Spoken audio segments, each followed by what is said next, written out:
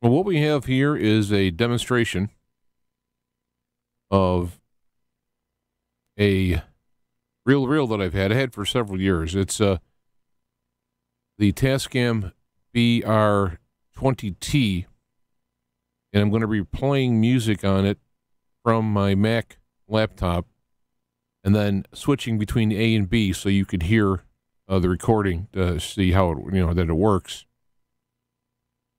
Uh, it comes with a remote control, the stock original from Tascam, and I've tossed in some reels, about three or four, five, 10 inch reels. I don't have any more 10 inch decks, so there none of them are new. I do have uh, some seven inch new stock, new old stock, a 456, I think.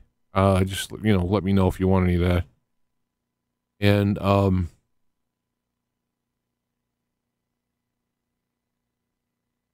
well, I think I'll just start recording it here. We could talk. Uh, I could talk some more about it.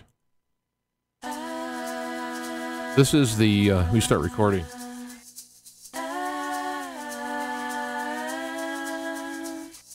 This is the input. And that's the recording.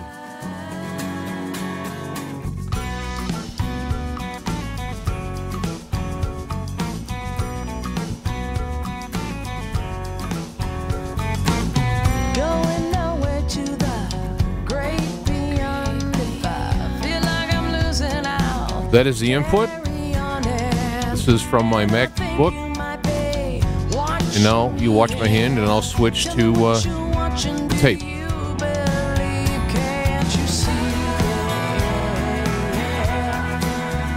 excellent recording. My originally reason for buying this, of course, is mastering recording music, which uh, this deck is uh, was built back in the '90s. The deck uh, was probably the last original reel-to-reel uh, half-track reel-to-reel made. It uh, between 1992 and 2004. All right, here's the exit of source.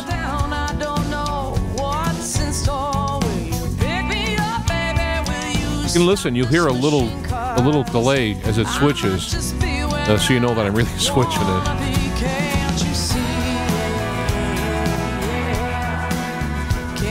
The sound is fantastic.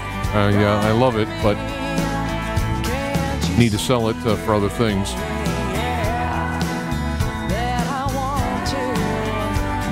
Here is the pictures for the head. It was hard. I tell you, it was very hard for me to uh, try and zoom in on there. I don't know. It might not look as good as, as it does when you look at it, but uh, the erase head uh, is there, the playback, and then the recording head. The recording head is kind of on an angle recording, so the the left and right tracks, this empty uh, track is in the middle. You see that kind of area there? So it's half track, same normal half track, but this particular model has a a uh, empty track in the middle in case you want to sync it to something. I've never used it, but the actual recording tracks are are exactly the same as the uh, the BR20. This is the BR20T. Uh, also have a new capstan belt that, that you know I bought, never had to put it on, so I got that.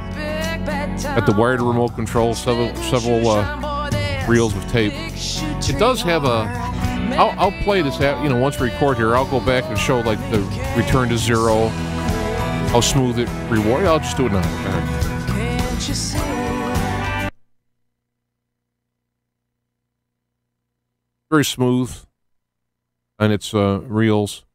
The um, I have three take-up reels that um, you can have with it, but they're all warped. They're all bent, as you can see on this. But the, you can see the hub is turning nice. The um,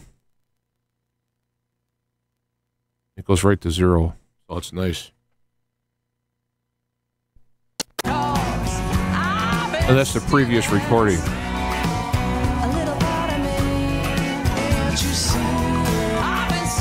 Here, this is the actual recording, so I, I'd say it's in really great shape. I mean, the uh, close up on the heads, you know, there's a little wear.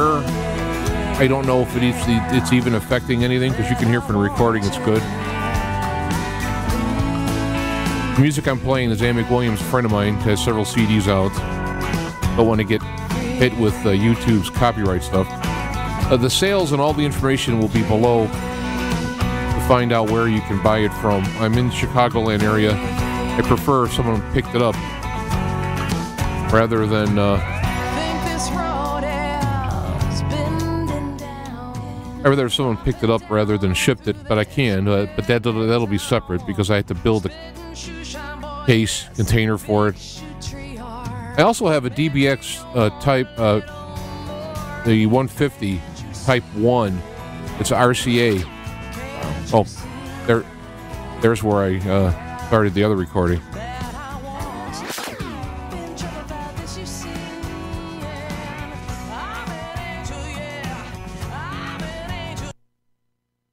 Let's, let's starting. Let's just keep recording.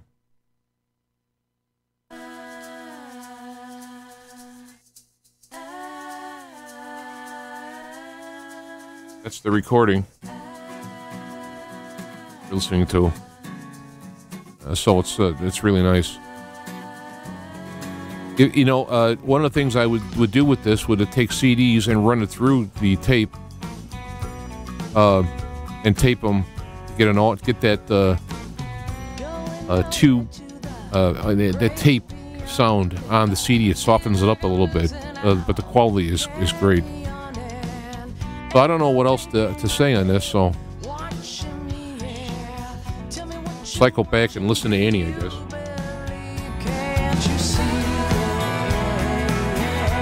I'll have email below and all this stuff so you can ask me questions. I figure it's better to show you it actually working than uh, than not.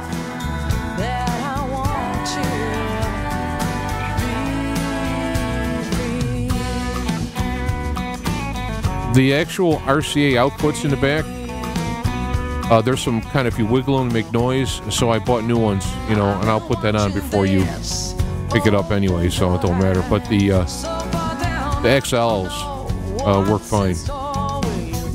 Oh. Oh, there's a piece of tape stuck there.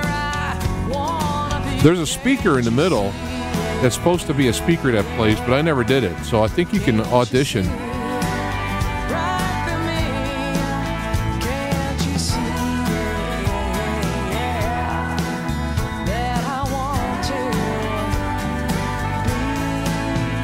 I heard something about that. I also I'll put links in the bottom to a museum, a reel to reel museum, who's got a lot of nice info about the deck. Uh, so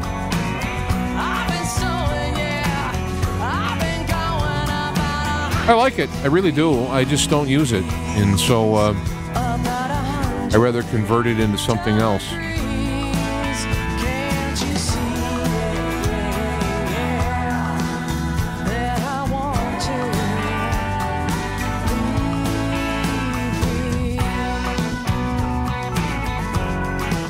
So there you go.